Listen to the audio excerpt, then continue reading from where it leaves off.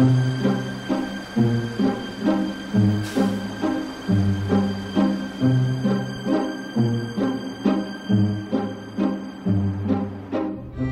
such an idiot. I always do this. Why did I take the 580? I'm gonna be late. God, I'm so tired of being late. Maybe I should get off. Of course, no one's gonna let me get over, are you? No, course not. Always acquiescing to everyone. I should just cut in. Just do that all the time. I do it about everything. And then I end up late. Ugh, you look like the walking dead. Look so pale. This can't be how I'm supposed to look. I just, oh, why am I always so tired? Always so tired. I should go somewhere. I should take a vacation. Oh my god, it's him. See me. I look awful. Please don't look over here. What am I doing? It doesn't matter if he sees me. I am not in his league, that's for sure. Why don't I have to carry all my weight in my stomach? I look like Buddha, I listen enlightened. I need to stop drinking red wine and eating cheese. It's cancer. I just know it. It's in my family. My dad, uncle. I eat like a pig. the kids to know how scared I am. It's like I'm all by myself. I don't know where to go. This I is won't eat crazy. lunch today, just water. What if David brought donuts again? All right, I'm not eating a donut. I'm not eating a donut. I'm not. I love donuts. I feel wonderful this morning. I love living in this city. And Scott, hmm, I'm so excited to spend this weekend with him. Look at you. Happy people are so annoying. Hello? Hey, Scott, I was just thinking about you. Hey, you dropped this.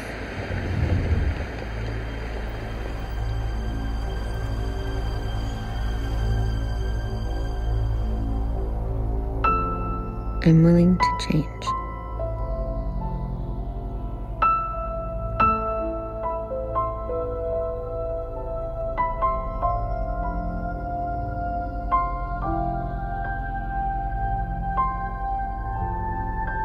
To release my old patterns and negative beliefs. The power that created me has given me the power to create my new life. I choose positive, fulfilling new thoughts.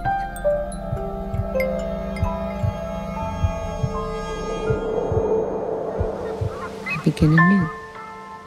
Right here. Right now.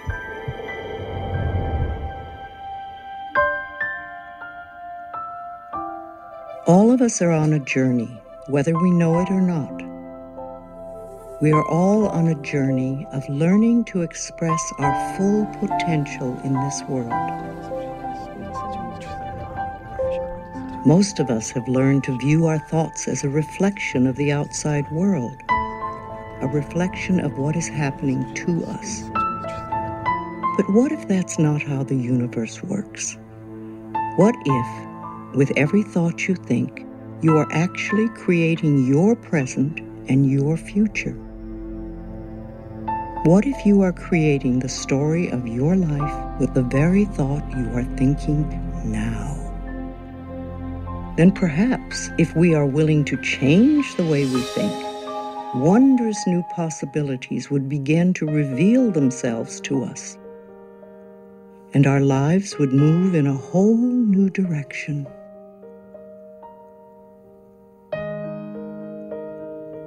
It all starts with taking the first step.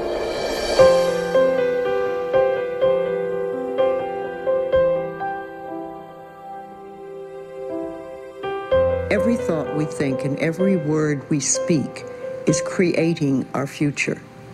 It's as though our thoughts go out into the universe and are accepted and brought back to us as experience. You become what you think about, whether you want it or not. The thought that you are thinking is vibrational in nature and therefore attractive in nature. So when you care enough to take the time to change it from what you are terming negative to positive, you have shifted your point of attraction. Nothing is more important than understanding that. That if you just did that one simple thing, you know, of spotting the limitations and the limitations in your thinking and trading those in for a positive new thought in that area, it'll eventually lead you to all the other stuff. It'll lead you through. And how would our lives be different if we if we could cut through all the static and simply choose in our lives, what we would like each moment of each day, or our relationships, or our abundance, or our careers, or the peace in our families to look like. What would our lives look like if we could do that? We're so busy on the cell phone. We're text messaging somebody. We're on the computer. We're on the internet. We're watching soap operas. Once again, we're looking outside of us. People don't realize their greatest potential because they think it's from an outside source when it's so divinely ordained within them. Now, it's how do you turn that around? It starts with thinking differently. You can be fully supported by the universe by following your dreams and your passions and your inner guidance. Your willingness to contemplate yourself as a person who is capable of attracting into your life what you want, having the kind of relationships that you want, being able to have abundance where, you know, scarcity always exists. All you have to do is begin the process by being willing to contemplate the presence of that in your life. I started to be introduced to uh, looking at the world in a different way. For example, through Louise's book, You Can Heal Your Life, which was very influential to me early on, when I thought, wow, there's something about the way I think that may be influencing what's happening in my life. We now know that we can rewire our patterns in our brain with cognitive behavioral therapy or affirmations.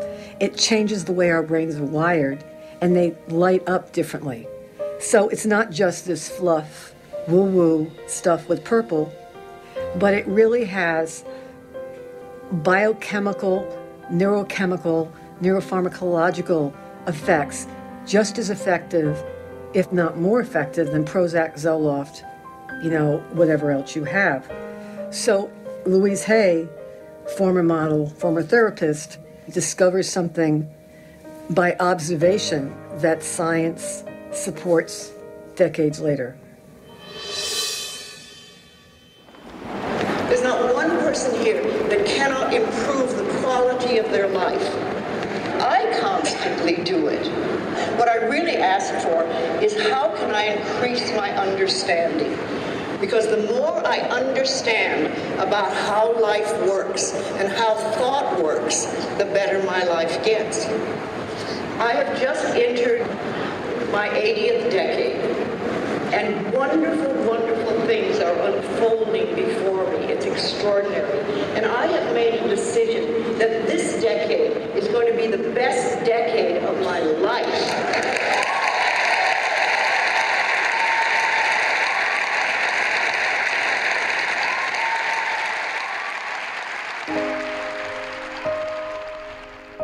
My life, as far as I know, was very good until I was 18 months old. And then everything hit the fan. And my parents got divorced, and I was put out into a foster home. And then later, I came back with my mother, and then I was about five years old when she remarried. And she remarried what turned out to be a brutalizer. Uh, we didn't know that at the time. So the next 10 years of my life were very, very challenging. There was a lot of physical abuse and, uh, and sexual abuse. I grew up in a family where really you were taught that you were no good, you were worthless, nobody loved you, and nobody would love you. And when you have that belief, then life gives you those experiences. I was raped by a neighbor at one point, and the man got 16 years for it. Uh, there was another neighbor that was after me. This was all when I was very little. And then, uh, about the time I became a teenager, my stepfather stopped beating me and started to uh, have sex with me. And that was much harder for me to take. So I left home at 15. I knew nothing. I had no social skills whatsoever, uh, but I was out of the house. I was starved for love, and anybody who'd be nice to me, I went to bed with.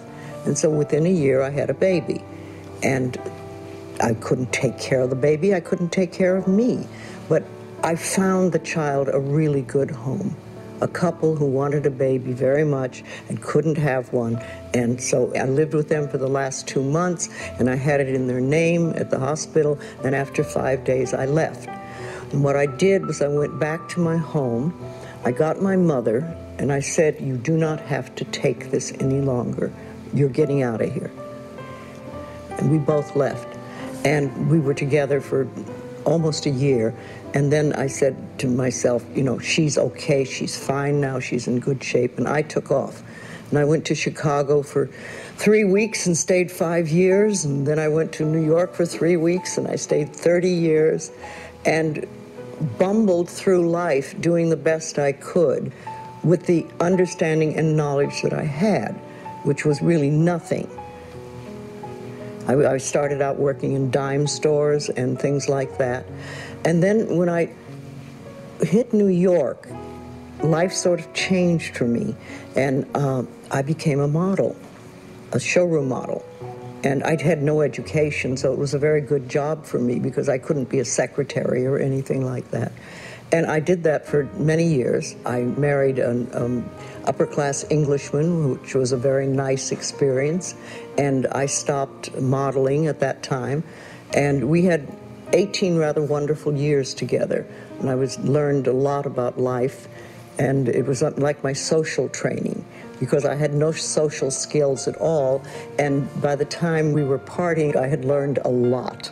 But when the divorce came, it made me feel very much like so many women feel that I was a total failure and I couldn't do it right and everything was wrong again. And uh, it was about five years later that I discovered this group called the Church of Religious Science, which uh, was where I heard if you change your thinking, you can change your life. And that is where my life really began to change. We'll have all these speakers. We're all going to say the same thing, really, but we're going to do it in slightly different ways. And we want to, everybody wants to hear things differently. Just because I say something, some of you will get it, some of you will say, what is that woman talking about?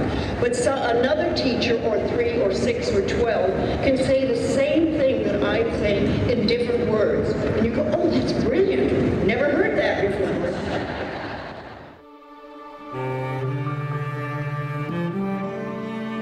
I was living like a lot of people do, fairly unconsciously, but not aware of my unconsciousness, you know, just kind of going through life and often feeling as though life was happening to me, that I was a victim to what was going on in my life. I was really like living in a comfortably numb place. You know, there wasn't a depth of meaning in my life, and I knew something was missing, but I couldn't name it.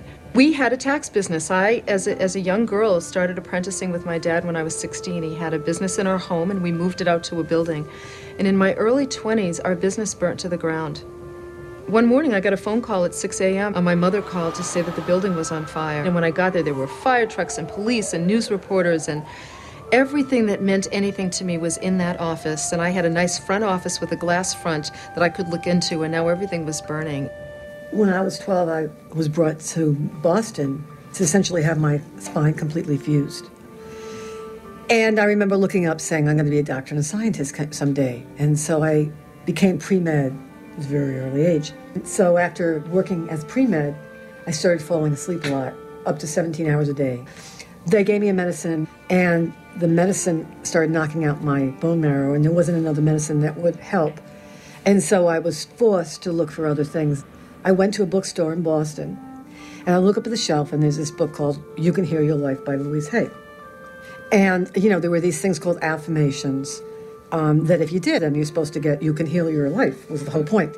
I did reps, just like you do in a gym. Instead of lifting barbells or whatever you, I lifted, I love myself just the way I am, 10 times.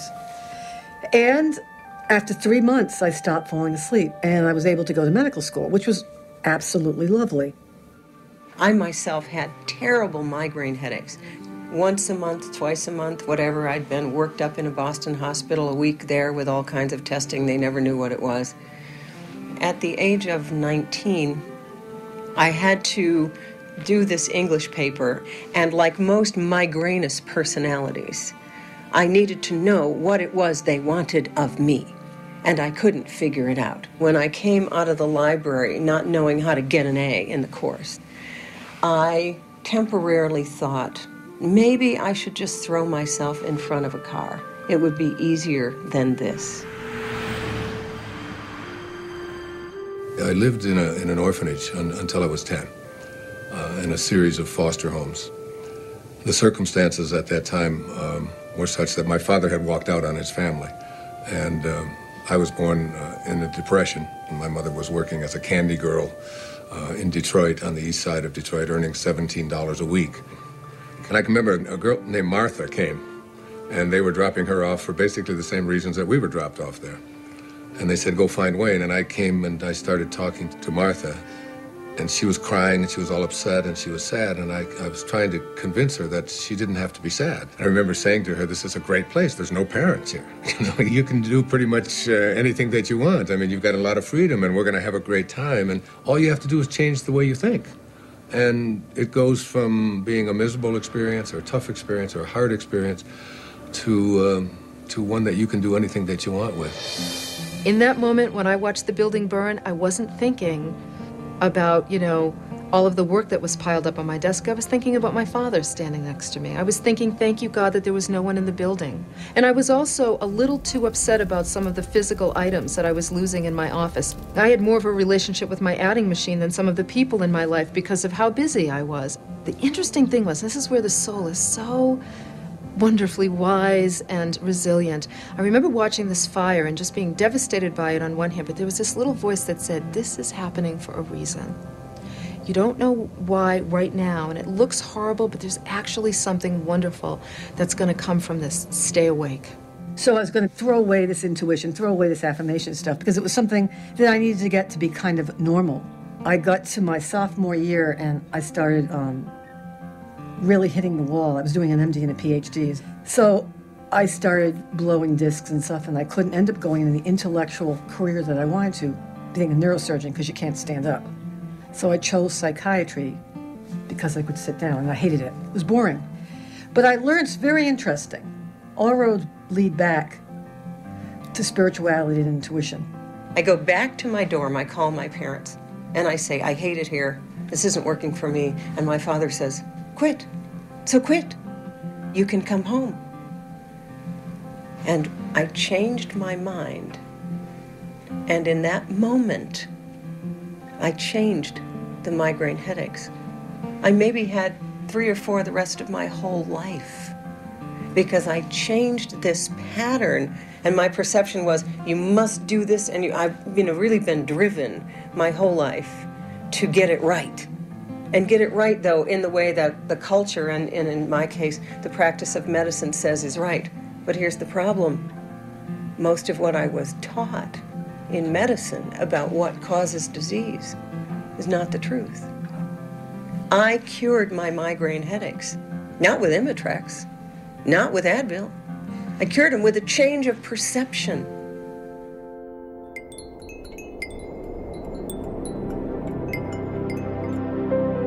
People think the change has to be shocking, like diving into a cold pool.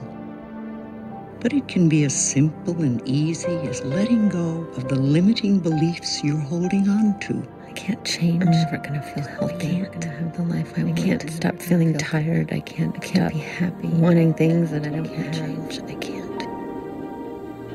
You can begin your journey wherever you are, whenever you want.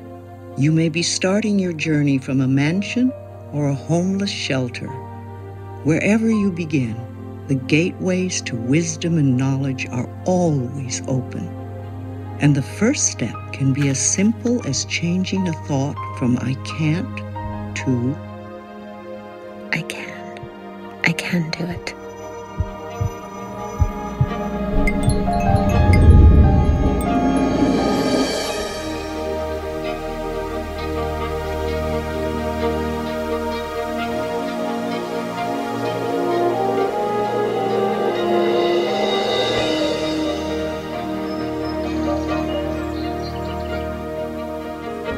Get it that you have so much more control over your life than you thought you did, or control over your experience of your life, if not the events of your life. There is this sense that is so playful and so joyous, and it begins with changing the way you think.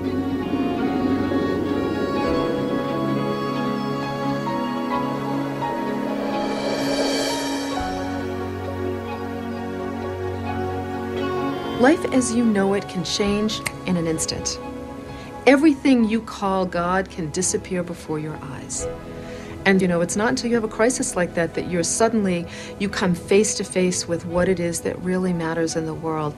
So it's a wonderful thing when you bump up against something that feels uncomfortable because it's this opportunity to now feel the discomfort of it and work it into a place of greater comfort. That's how you get rid of those obstacles. That's how you let yourself flow in the way that you want. Okay, I can do this. I can do it. I can change.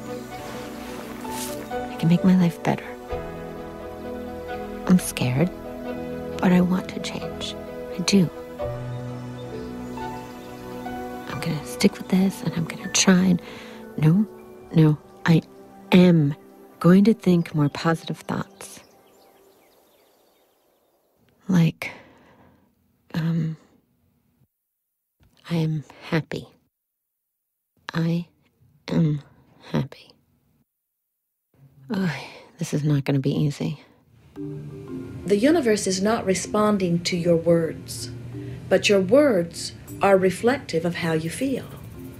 And how you feel is reflective of the vibration that you're offering.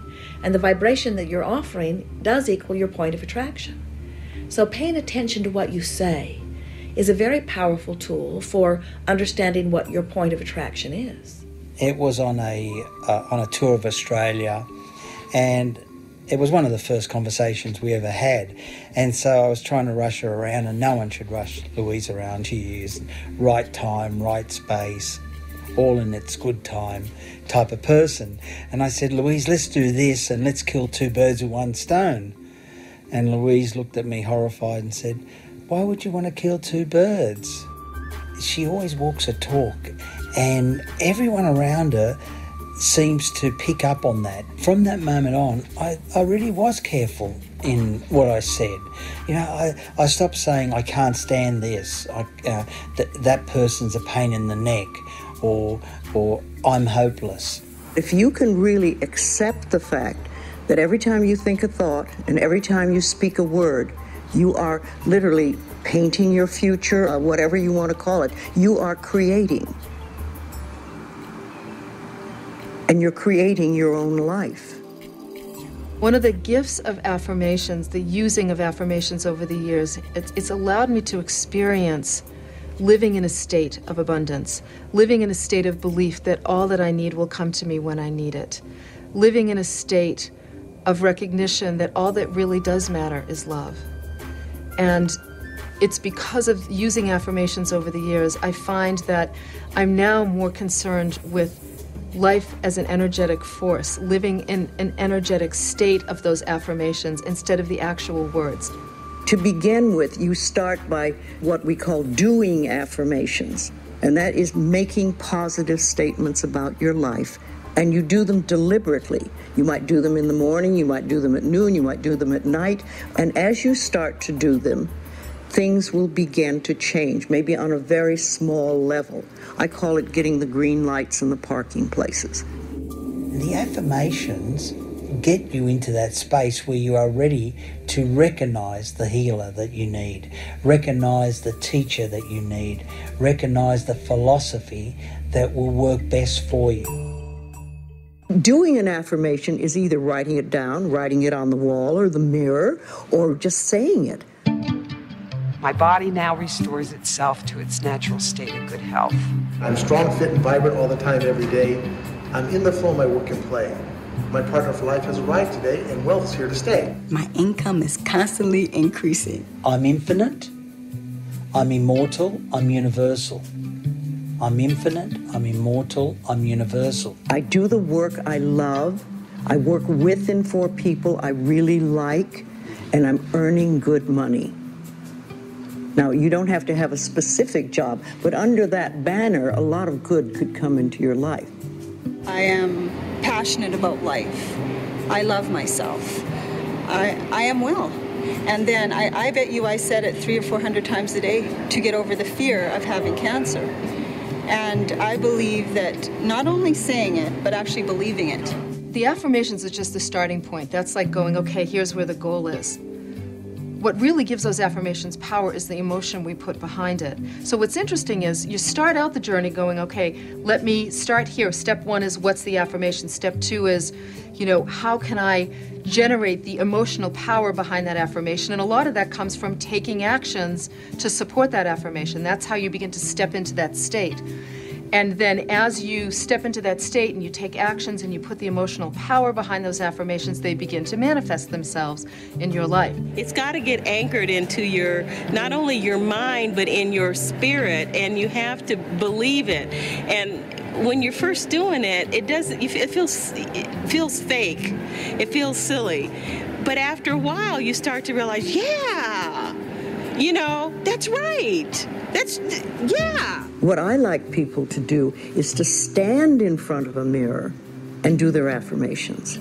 Because there's something very powerful about looking in your own eyes and accepting yourself or noticing that you reject yourself when you're saying something positive about yourself. Driving to work, when I first read Louise, I used to, she said, you know, that you should 20,000 times a day, or every time you have a negative thought, just I love and approve of myself. You know, just replace it with that. For the longest time, I, I love and, I love and, I couldn't think of the other word. It was like, why can't I remember such a simple word? It's like planting a seed in the ground. It's not necessarily true at the moment, but it is something you want to have be true. So you put the seed in and you expect it to grow. You don't wait for two days and then dig in the earth and say, What's happening? What's happening? You expect that thing to grow because you know there's a law and a process. And the seed will grow if it is in the right soil and it has the right amount of moisture. And many people are finding out about how literal this language is in very interesting ways. I hear people say that they, they want a perfect relationship or they want abundance in their lives. And they say it with an air as if they have just put that manifestation out there and they're going to get it pretty quickly. And then I see them a year later and it still hasn't happened. And a couple years later, it still hasn't happened. The field is literal, the divine matrix is literal. So when you say, I want this to happen in my life, the field says, okay, and I'll let you want and want and want because there's no outcome. It's an open ended proposition. It is like a computer. If you have this gorgeous computer put in front of you and you don't know what to do with it, it's a piece of junk. But if you learn the language of the computer, miracles happen.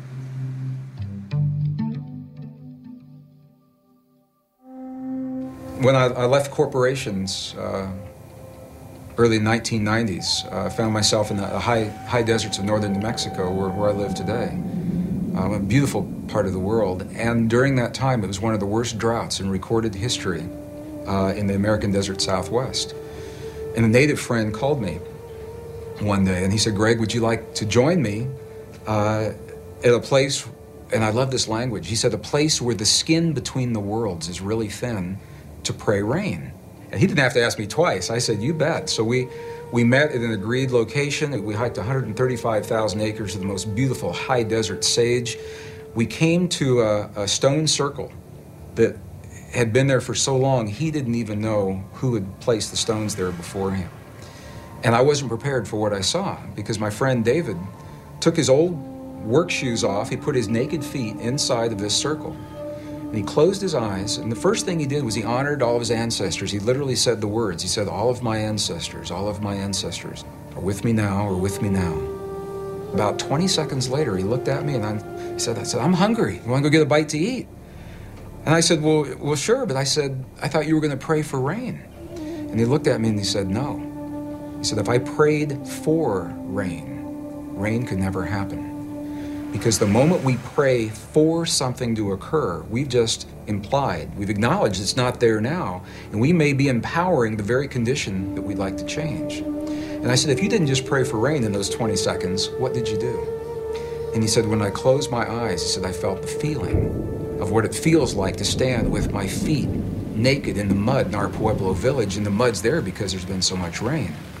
And he said, I smelled the smells of what it smells like when the rain falls off the earthen walls of our Pueblo village. And I felt the feeling of what it feels like to run through through the fields of corn, and the corn is there and it's so high because there's been so much rain. He said, I gave thanks of gratitude and appreciation for the rain that's already happened. When you speak an affirmation, even though at first when you speak the affirmation you may not believe it, in time, as you speak it, you come into the allowing of it. And of course, there are many people speaking affirmations who are not receiving what they are speaking because they're using words and wanting the words to make it so. But the universe does not respond to your words. The universe responds to your vibration. And your emotions indicate what your vibration is. Affirmations are magnified if we use them in our dream state because at that moment the ego is asleep. The logical mind is resting. And therefore, you have a perfect opportunity to program your future. You program your mind with these positive affirmations. Our dreams are there to resolve conflicts between the conscious and the unconscious, and they're there to regulate our moods. But what if you went to sleep believing that you are all is well, you are safe, everything will appear at the right time when it's supposed to.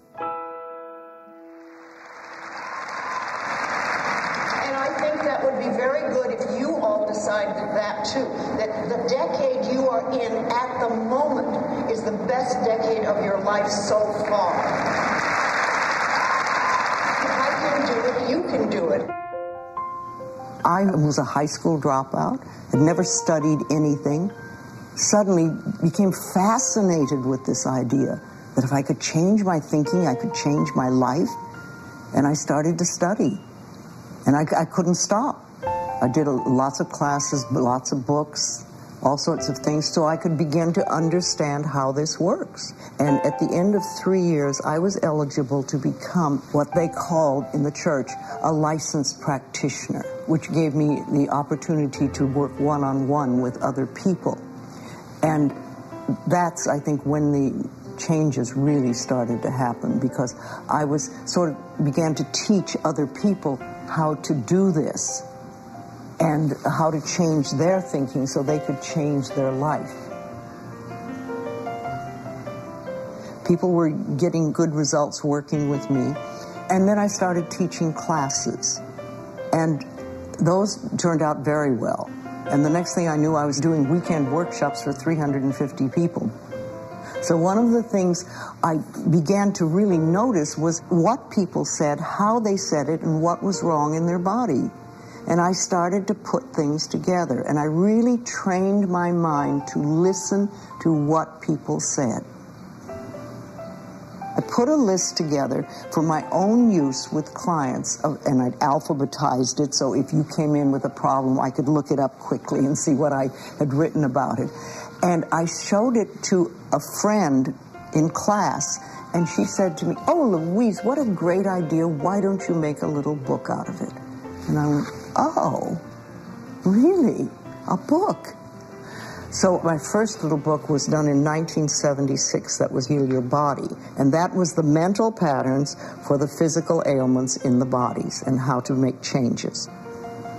I really believe that the big boys, as I call them, would not publish the book. And if they did, they probably would want to change it. Because my ideas at that time were very radical. Your thinking can change your life. And I wanted to say it the way I wanted to say it. I didn't want a word changed because I knew what I was doing. So I printed the book myself. So I went to the church printer because I didn't know where else to go, and I had this little 12 page pamphlet put together. And I remember taking it to my teacher and showing it to him, and he said, Oh, Louise, isn't that sweet? What a nice thing you've done. How many did you have printed? 200? And I said, No, 5,000. he went, You're crazy. You'll never sell that thing. but two years later, I had. I sold all 5,000. I sent a, a, free copy to every metaphysical church that I could, knew of and an order form. And many of them took it. And uh, that was my first little book. I read her little book and I said this would never work for me. But uh, I came home determined to try it. Um, at the time, I was being treated for fibromyalgia and chronic fatigue. I was self-employed. My energy was levels were so low. I was barely putting in 20 hours a week, um, completely ignoring my children and my responsibilities. And I started her affirmation. My body now restores itself to its natural state of good health and I saw the difference in a week. I said it all the time, and I started doing her mirror work. I would go to the mirror, and though I didn't feel it and the words stuck in my throat, I would look in the mirror and I would say, I love you very much, Jackie. You're perfect exactly the way you are. All right. This is going well. I have all the power. And nothing can stop me. I feel healthy and, and breathing, and air feels really good, and accepting that I'm a part of the universe and gives me exactly what I asked for. Okay, so I totally tripped. It's alright. It was a positive trip. In the moments of deepest despair, there's actually humor always. Humor lifts us up to God, it lightens up every situation. But just before you get there, there's usually this time of pain filled joy or joy filled pain where you might have to break down with some deep sobs. When someone's in trouble, I think of them just like someone who's come out of a movie, a scary movie, and they're crying. Their tears are real, their fear is real, but what they saw that caused the fear is not real. It's a movie. So, what I'll do is I offer some suggestions about ways to reframe their situation or find a blessing in a seeming problem. And yes, there are challenges in life that we all go through, and there's no shame with that, but it's what you do with the challenges that counts. Now that I know when so called negative things happen, that they're really positive things, and that what I need to do is focus on the positive outcome and then stay course, and then so shall I have that experience. The way that you retrain yourself is to shift from uh, having a fear to uh, having a curiosity you know, substitute the word curiosity for the word fear. Because a lot of us, when we start doing those things to honor our soul or to express our creativity, those are really vulnerable acts. You know, the things that we intend or that we affirm for our lives are those things that are deeply important to our soul, and so they're vulnerable. And too often we turn to people who just squash them, you know, or who tell you why it isn't going to work, or why that's a crazy affirmation, or that's a crazy intention. That's called going to the hardware store for milk. You want to go to the people who are really going to hold your hand on the journey and say, hey, I'm there, right there with you.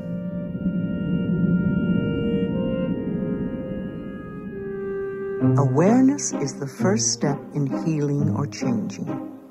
When you're facing challenges on the journey, it's tempting to turn back or to blame somebody for the situation.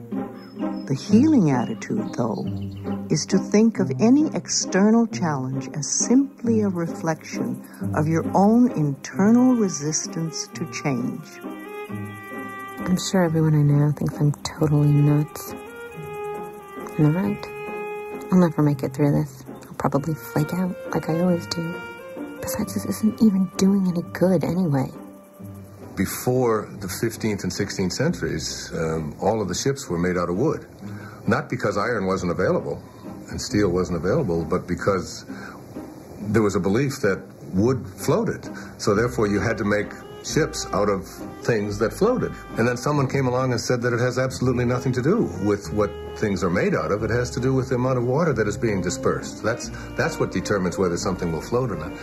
And I think about that all the time because it's it's in the contemplation of what you desire that you create what it is that you want to have for yourself. The law of flotation was not discovered by the contemplation of the sinking of things.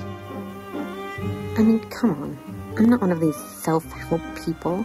I don't believe in crystals and white light and the divine feminine and angels and source energy. I mean, what is that? Let's be real. This is all just wishful thinking. We tend to live our lives based on what we believe about ourselves, our world, our capabilities, and our limits. Where do those beliefs come from? More often than not, they come from what other people have told us history, science, religion, culture, family. What if they're wrong? I have all these people telling me what to do, and I mean, please. If it weren't for my mom, I'd at least have a chance. I mean, come on, where was Louise Hay when I was growing up?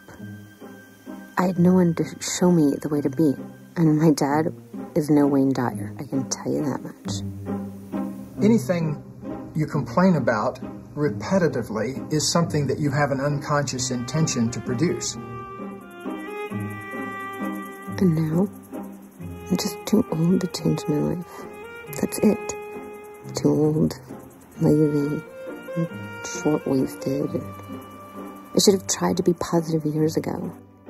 I think it really starts with realizing that you don't love yourself, that most people don't. Most people feel they're not good enough, that they haven't done it right, they won't do it right, they'll never be enough, and they're definitely not lovable. And when we come from that space, it's very hard to create things for ourselves that are really good. Things weren't so bad before. There's nothing wrong with me. I'm fine. I'm fine the way I am. Everything's fine the way it was. And now I'm here. It just stayed the same. Everything's messed up and confused. Well, at least I know what to expect here. It may not be the best, but at least I know how to handle this. And what's in the future might be worse. So I better not try and go out there and change things. What if I fail? What if I don't succeed? I should just go back. I don't have time for this. I mean, I have so much to do. I'll, just, I'll come back later. I'll do it later. Job, all these important things, and I gotta go. I just, I have to go. A lot of times, we're missing information about what the next step might be in terms of the action equation of affirmations plus actions equals miracles, right? A lot of times we're missing information about what to do, how to take action, but we call it something else, like, I must be afraid. That, that's why I'm stuck. What if I lose my friends and family doing this stuff? People are going to think I'm crazy. People are going to find out that I'm involved in some weird psychological thing and they're all going to laugh. I just want to go home. This isn't right. It doesn't feel right. Where am I?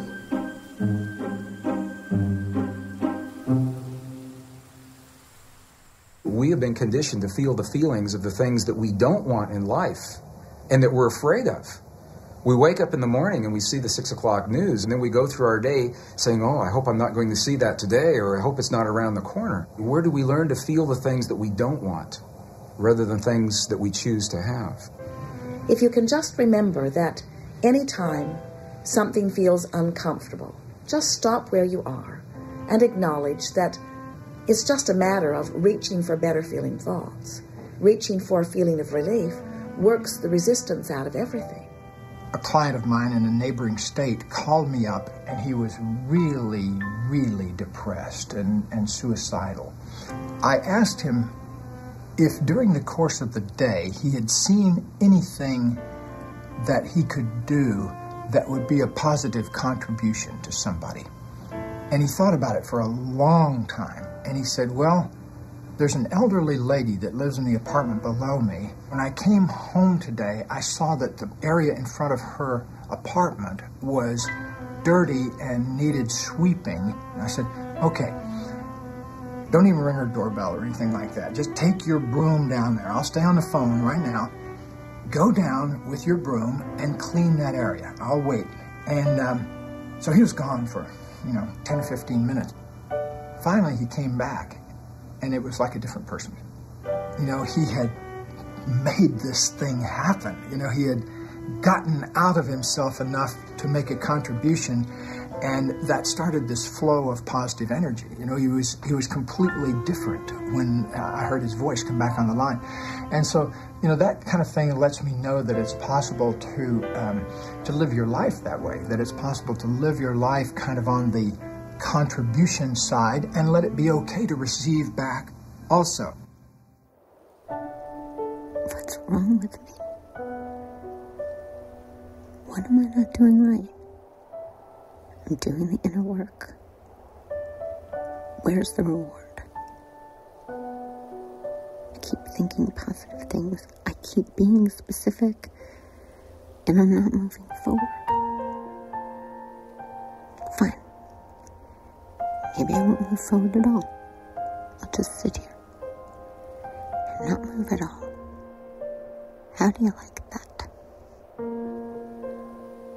Who am I talking to anyway?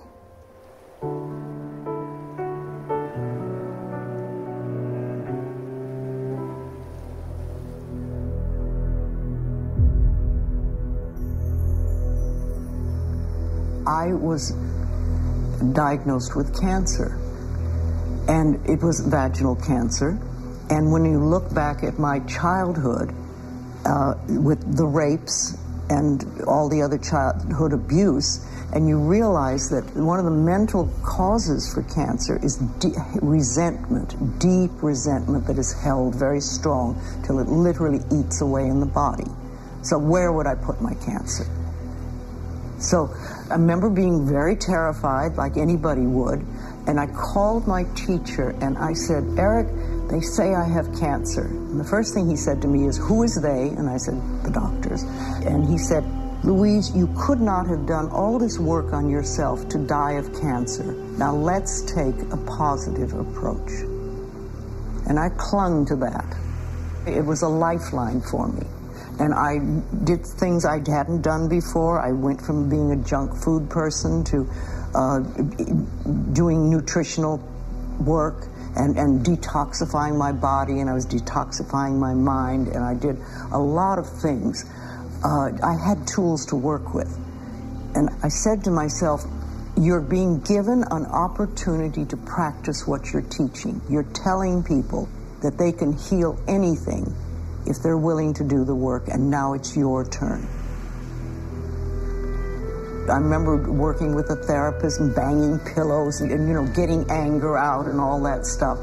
But I think that the work I did at the time that was the most important for me was to do forgiveness.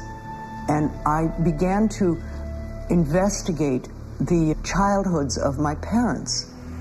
And when I found discovered their stories, I could understand where they were coming from. There were, you know, there was just uh, horrendous things on both sides, all sides. So how could they know how to treat a little child when they didn't weren't treated that well themselves? So as I began to do the forgiveness work and the therapy and the, the nutrition and everything, within six months, I was able to get the medical establishment to agree with what I already knew inside that I no longer had cancer. And when that happened, I knew that anything could be healed. I knew because I had done it myself. And all the other stuff helped, but I knew that what all the affirmations and all the stuff I was doing. So that gave me an extraordinarily strong belief. And when you have a strong belief, you can do anything. I was diagnosed with a condition inside of my body where a doctor told me that something was growing, a cancerous tumor that shouldn't be there. And I had gone, I trusted the medical system because that's our culture, that's the way we're raised. And there's a part of us that says, even if I go the holistic route, I'm going to let a medical person tell me what's going on just for that validation. So it was my opportunity to put into practice everything that I ever learned. And rather than concentrating on something that should not be in my body, I began feeling uh, that my body was, was vital and healthy rather than focusing on making something change. However, uh, through the influence of family and friends, I underwent a medical procedure anyway. I went into the operating room, I was anesthetized, and the next thing I remember, I woke up. And there was a doctor looking at me, and he said, What are you doing here? There's nothing there. All I'd done were the practices and the principles that I'd traveled halfway around the world to learn, and I employed it in my own life. And it worked in that moment. I have the photographs showing there's nothing in my body. I was anesthetized, uh, and they, they did an exploratory for no reason at all. Because of that, I can speak with conviction. I can look anyone, a scientist, uh, a doubting audience member, and I can look them in the eye with conviction and say, This is what I know to be true in my life that there's a power inside of your body. The ancients say it's the most powerful force in the universe. The philosopher Neville, uh, early in the 20th century, said that there's a power inside of every human against which no earthly force is of the slightest consequence. I did a whole bunch of research on, uh, on cancer. I wanted to know who had beaten cancer and what, what was the common denominator. So I had I, I, did a lot of reading and I discovered that the common denominator was everyone, no matter what treatment that they chose, they were well because they changed the way they thought. I knew that opening myself up physically to the surgeon's knife was an adjunct to true healing, and that I needed really to open spiritually. Your body's not your enemy, which, of course, I think anyone who's first experienced disease or pain, I think we're taught that, you know, why is my body doing this to me instead of why is my why am I going through this experience? And it sort of let me shift my thinking to, you know, I need to love my body through this. I'm thankful that I, I actually got cancer because I needed a big wake up call um, I needed, I was the type of person that needed almost to, you know, to get hit between the eyes. I'm in remission and I feel wonderful and I've never felt better about myself. I still walk around daily and I use that affirmation that she had for cancer. It's the, um, I lovingly forgive and release everything in my past. I choose to fill my world with joy. I love and accept myself. It was life changing. It was one of these things where not only was I grateful for my illness, but in the end, much healthier than I had been before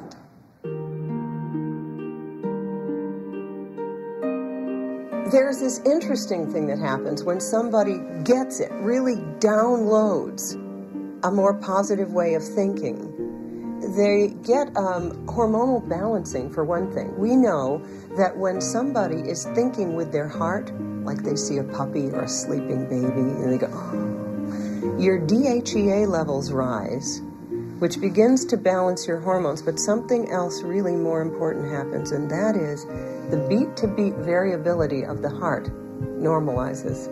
And you get into this um, wave pattern that you can see on a heart rate monitor that actually begins to balance the entire body, given that the heart is a huge electromagnet that in fact trains the rest of the body. It's not a thinking process. Thoughts are important. The ancients made a distinction between thoughts and feelings and emotions. And it's the feelings that are, are, centered in our heart that there is an effect from that, that it changes the electrical and the magnetic fields in our heart, and that those fields literally change the stuff that our world is made of uh, around our bodies. And what the science now is showing is that when you can change the field that the atom is in, you change the atom. And we're made of those atoms.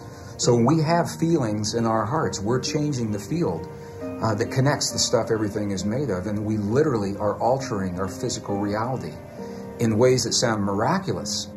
So, this thought or this state of deep relaxation or whatever it is that enlightens you actually results in a decrease in stress hormones, a normalization of blood sugar, decreasing of um, blood pressure, and a relaxation of all smooth muscles. It is, in fact, a balance of the parasympathetic and sympathetic nervous system. Parasympathetic is the brake, and sympathetic is the gas. And most people in this culture have the gas on all the time with an occasional brake.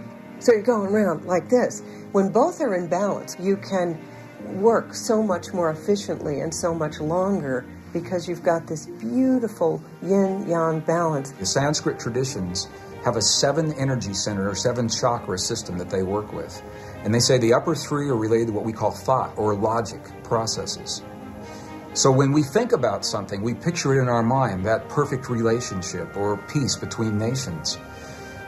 But we can only invite it into our lives when we breathe the power of emotion into that thought. The emotion comes from the lower three of those creative centers in our bodies. So when we breathe the power of emotion into our thought, we imbue that thought with life. And those two energies meet in the one center that is not accounted for yet in our model. It's in our heart. You look at these books by Beck, all these fathers of cognitive behavioral therapy, and you open them up. And the rewiring patterns that they give for obsessive compulsive personality disorder, or, you know, selfishness of narcissistic personality, or all these, or even just normal people who are a little messed up, was I love myself just the way I am. So in my PhD, and in my psychiatric residency, and I'm now a neuropsychiatrist and I work in the field of intuition, I learned the biochemistry of how someone rewires their thought patterns from I get one health problem after another to I love myself just the way I am. I am completely lovable. So I will be forever indebted to Louise Hay, what she did to me personally, because she woke me up, and literally what she has done as a revolutionary for, from my perspective, modern medicine.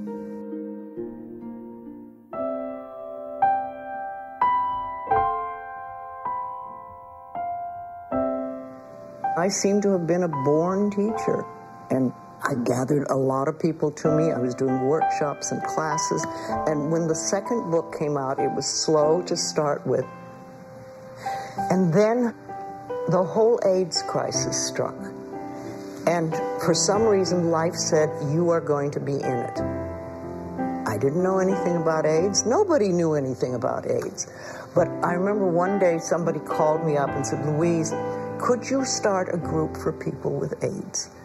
And I said, well, I, I don't know, you know, I don't know. I said, all right, well, let's meet. So we got together one night. There were six men in my living room. We sat down and I said, I don't know what we're going to do because nobody knows anything about this disease, but we're going to do what I've always done. We're going to work on dissolving resentment. We're going to work on forgiveness. We're going to work on loving ourselves. And we are not going to play Ain't It Awful. We are not going to sit here and talk about how awful it is. I said, we're going to take a positive approach, and anybody who learns anything positive about this disease, we're going to come and share it. If you have anything that's working for you, we're going to share it. And I talked about my ideas. And then we sang a song and, and did a little meditation at the end, and they went home. And the next day, one of the men called me and said, Louise, it's the first time I've slept in three weeks. The next week, we had 25 people. And it started to grow and to grow and grow. And it, what it was, it was a safe place for people who were terrified out of their wits to come and not be told they were bad, not be told there was something wrong with them, but to take a positive approach. Within six months, there were over 90 people in my living room and hanging out of the doors and windows because there was no place to go.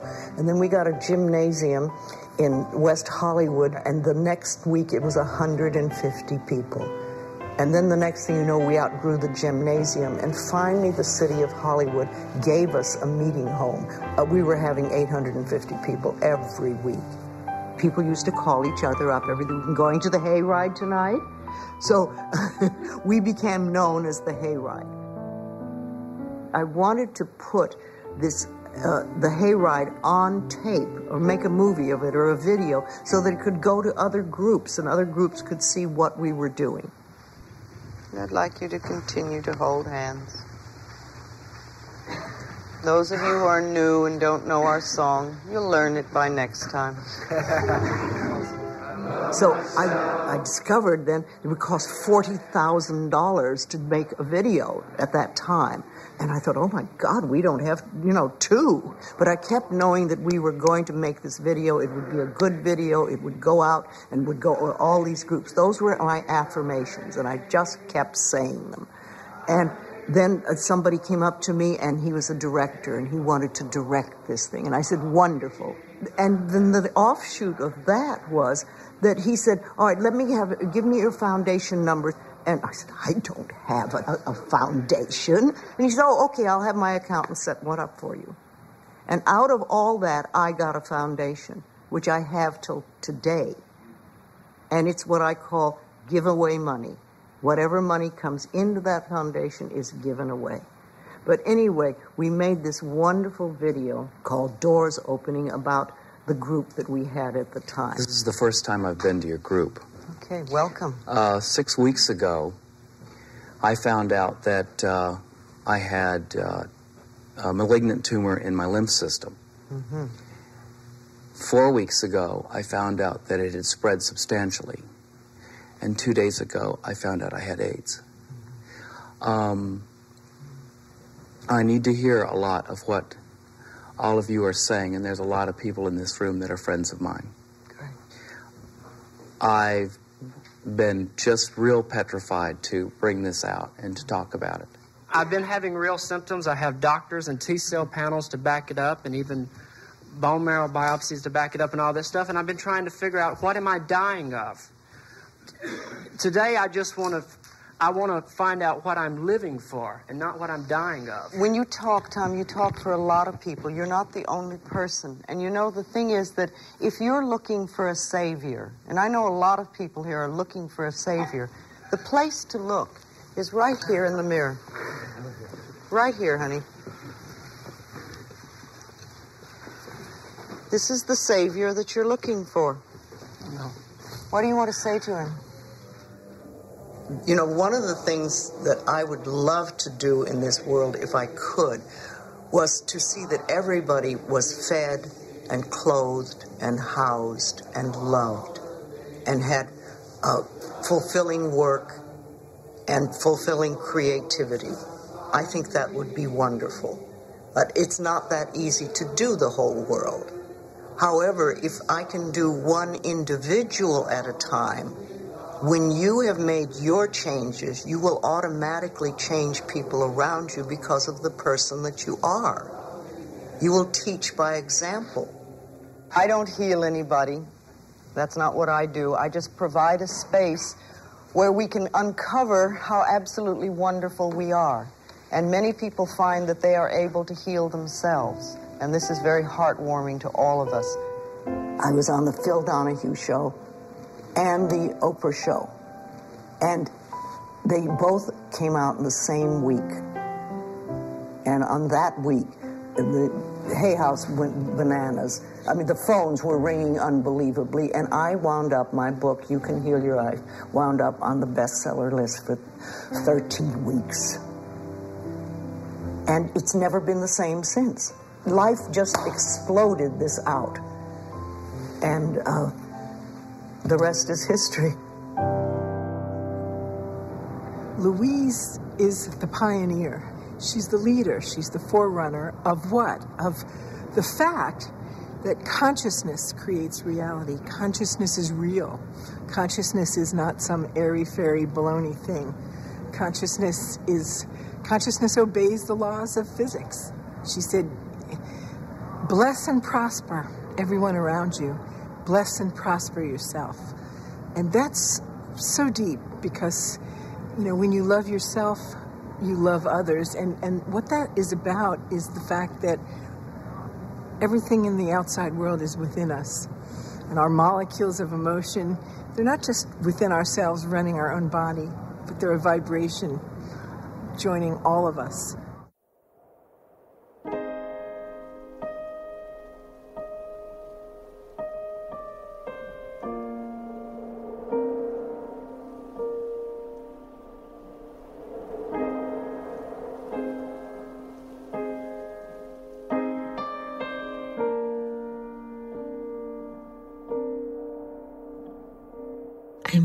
Forgive. Forgiveness of myself and others releases me from the past. Forgiveness is the answer to almost every problem. Forgiveness is a gift to myself.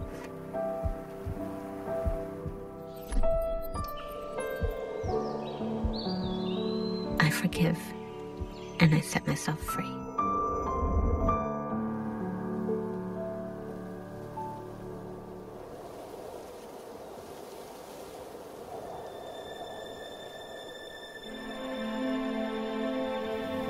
Greatest accomplishment of my life was my ability to forgive my own father, who walked out on, uh, on our whole family when, when we were just on a, on a woman with three children under the age of four.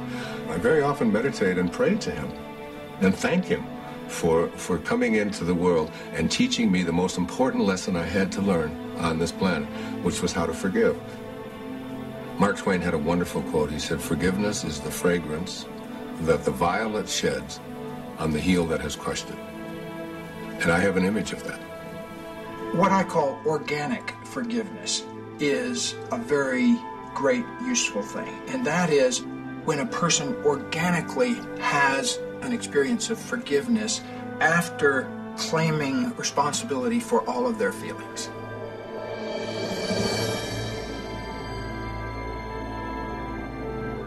So when I finally get in touch with, oh, I feel hurt, but that's inside me. It's not like you're doing it to me. That breeds organic forgiveness. When a person can claim responsibility for things inside themselves, that is a sign that they're in touch with their own vibrational nature. They're in touch with the forces of creation. A very good thing to do when you are feeling less than happy is to look at it, or whoever it is, or whatever it is, and take a notebook and write the person's name or the situation and say, What is it that I'm thinking about you that I'm using as my excuse to not allow myself to be who I really am? When you say, What are you doing that's making me unhappy? you're giving them all of the power because they have to do something different to make you happy. It's a very conditional love you're living, a very conditional happiness. Once you identify that and then think the thought that who you really are would think, now happiness is easy. Coming into alignment is easy. It's just a matter of caring about how you feel and practicing feeling good. Whenever you have a conflict of any kind, in any relationship, whenever you have a conflict, that the person who is willing to be of Tao, of God, of Source, is the one who will um, practice forgiveness or will go, go to the person that they have a conflict with and, and bring love to it. The person who lives the life of a higher consciousness is the person who says, I end all conflicts on love. I forgive and I set myself free. I forgive and I set myself free. Set myself free. I forgive and I set myself free. I forgive and I.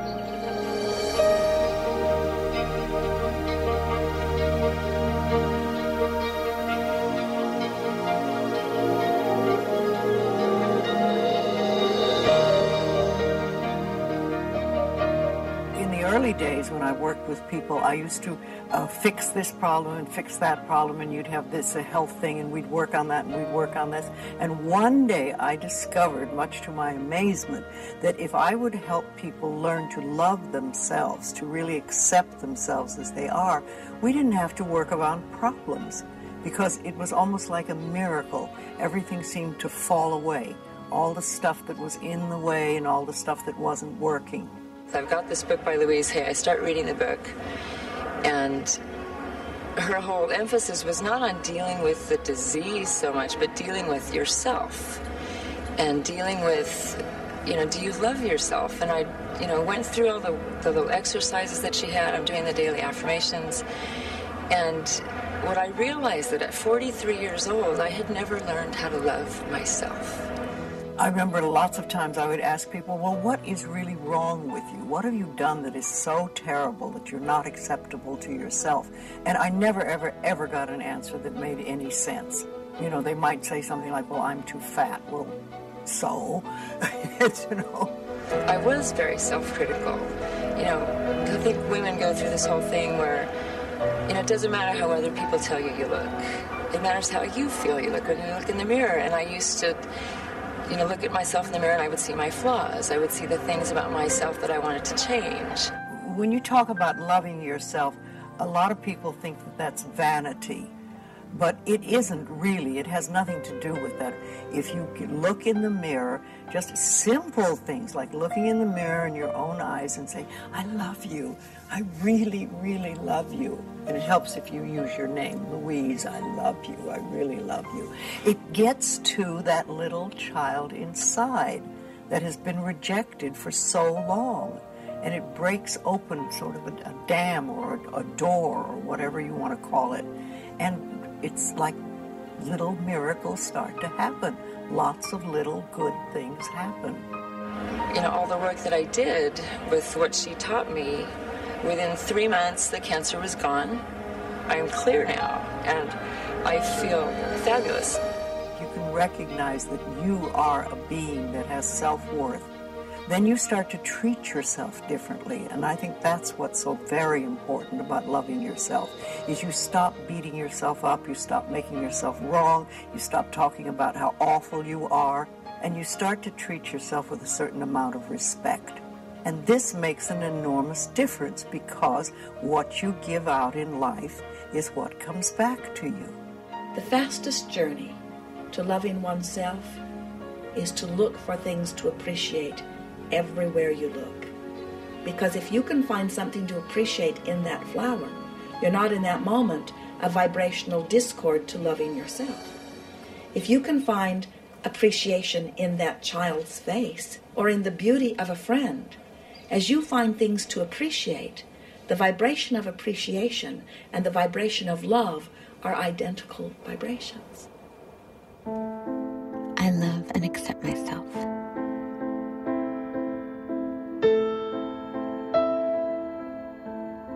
Deep in the center of me flows an infinite wellspring of love. Love fills my whole being and radiates out from me in all directions, returning to me multiplied. I give and receive more love every day, and the supply is endless.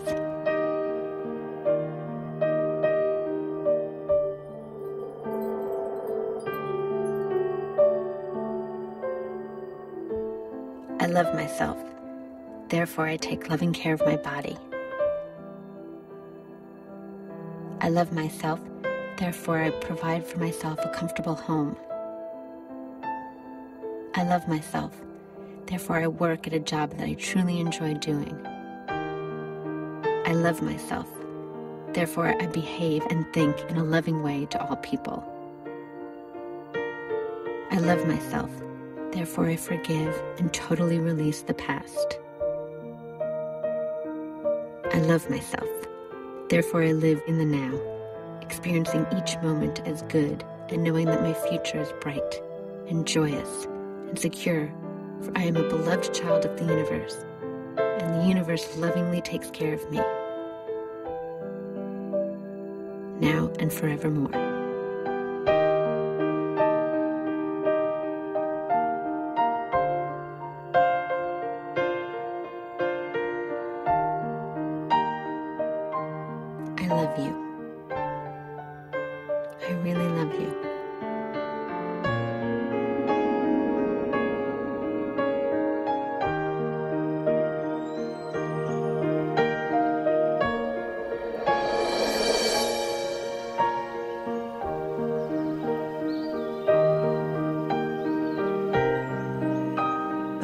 Of change is a lifelong process.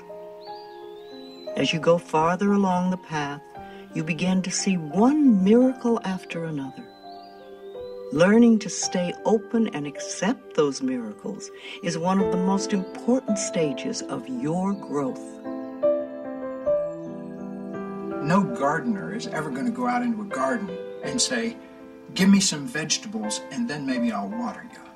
You know, it, that's not the way manifestation occurs. What you do is you go out and you tend to the vegetables and you water them, and then, you know, the harvest comes. So if you're giving out a feeling of, I'm okay, I'm good enough as I am, and I am acceptable, and I love life, and I love me, and you start having gratitude for yourself and for life, then life treats you differently because you are having a different vibration that you're giving out and getting back.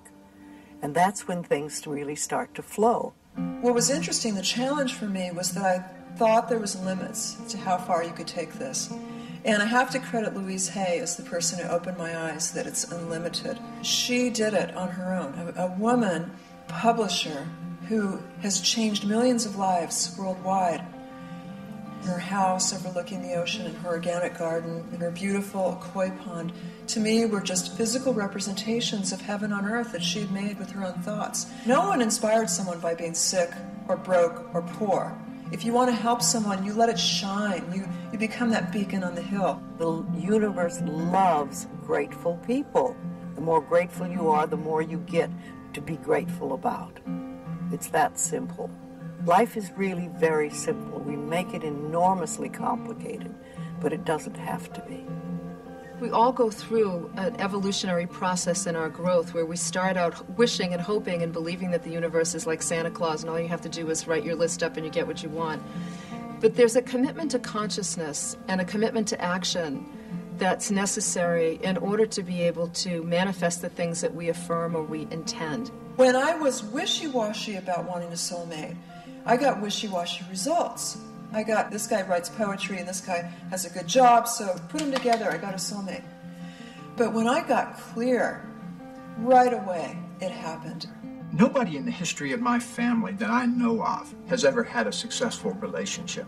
I realized that it would be breaking absolutely radical new ground if I was able to create a relationship that worked, that that would be an unthinkable thing to do. And what better thing to to make happen, you know, than something completely unthinkable. And um, so I designed what I wanted in a close relationship in my mind. And um, honesty, a relationship where both of us were free to pursue our creativity, our creative callings, and that each of us took full responsibility for our lives so that we didn't get into blaming each other. From that moment, it only took a month until Katie came into my life and basically set the tone for our whole last 27 years together. I have an intention that says, I want to meet a partner that I love. I want to have a relationship that's meaningful to me. But then the next question I ask myself is, how do I need to grow and evolve in order to become that partner so that I can attract that partner to me?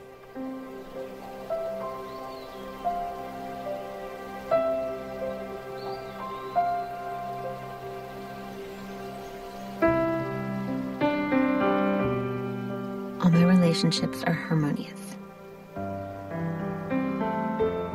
I'm deeply fulfilled by all that I do. Every experience is a success.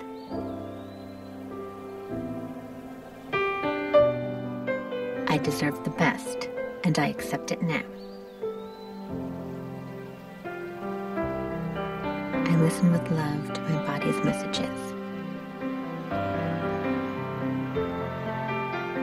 Healthy, whole, and complete. I express gratitude for all the good in my life. Each day brings wonderful new surprises.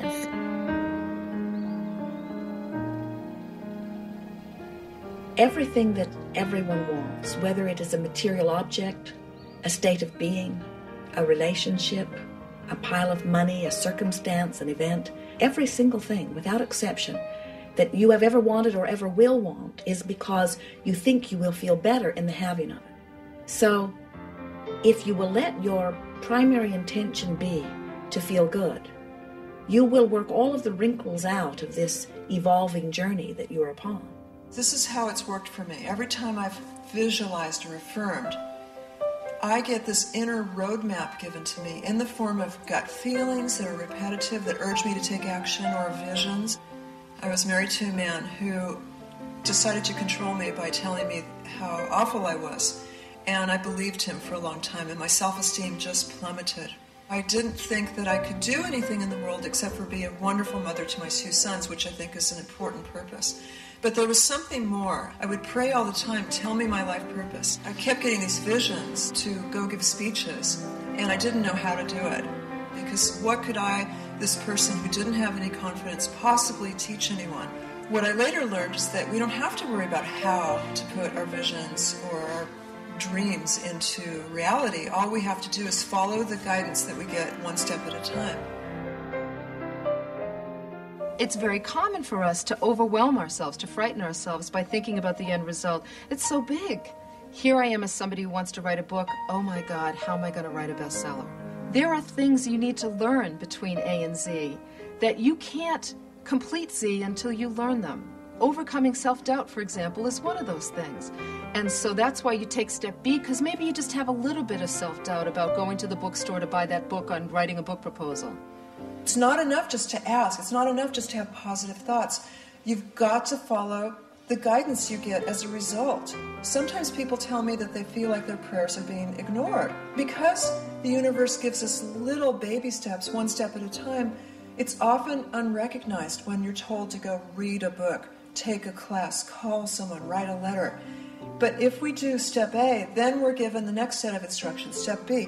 Then we're given the next set of instructions, step C, and it takes us step by step to where we're going. As your desire is moving and you are moving in the direction of it, you feel the ease of that. It's only when you turn in opposition that you feel the resistance of all of that.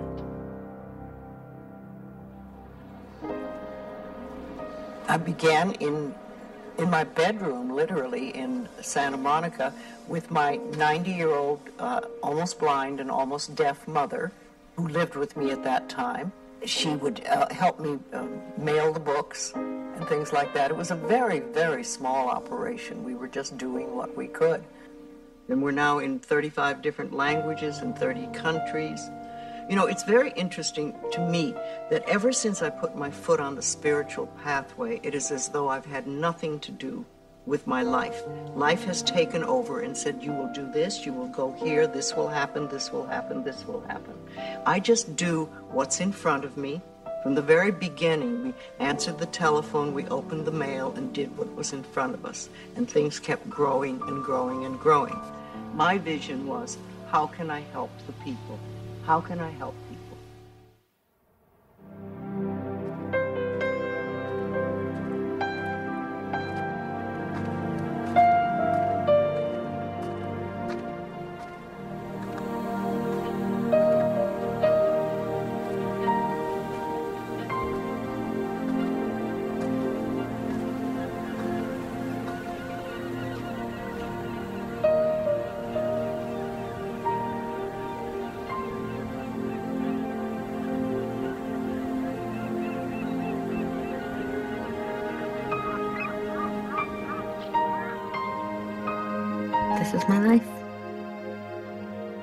really my life.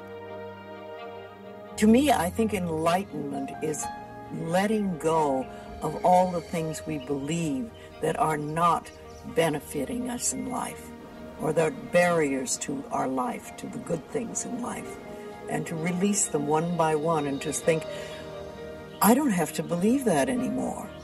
Or do I want to believe that anymore? And making a conscious choice. It feels like what surrender feels like when you've been so attached to an outcome and you finally let go. And you feel this deep sense of relief in knowing that, you know what, the cards are going to fall the way they're going to fall, and I have the ability to handle whatever happens. It feels like awe. There's, there's just this powerful knowing that you're not alone. So we can give it a lot of different names, but the key is that, that we are, I believe, much greater than we've been led to believe in the past. And I think that that's where the healing really begins, and us understanding uh, and accepting that power in our lives. You cannot fake your point of attraction, can you? It is what it is. And everything in the universe is reflecting it back to you. I have great gifts. I have an incredible life. But I've had a few problems. I have a little bit of a back problem. I, I fall asleep in a weird way. But I have been given incredible opportunities. It all began with reaching up for that book with Louise Hay, You Can Heal Your Life. I follow my inner ding, what I call my inner ding. Yes. Well, it's that feeling, your instinct. It's an instinct thing, and it either feels right or it doesn't. I follow my inner ding.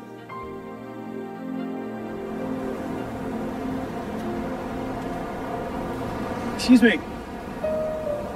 Do which path goes down to the beach? Yeah, you have to turn around and go.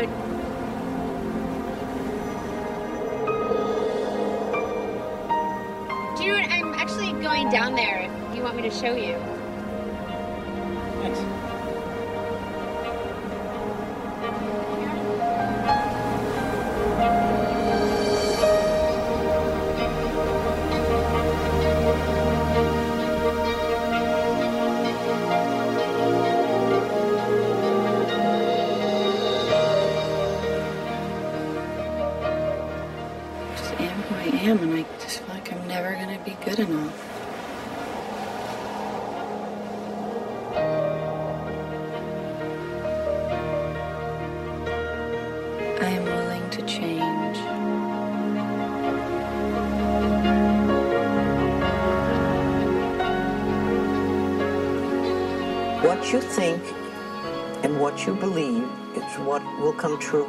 Your thoughts create your life.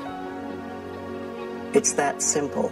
And when we can get that, we can make enormous changes.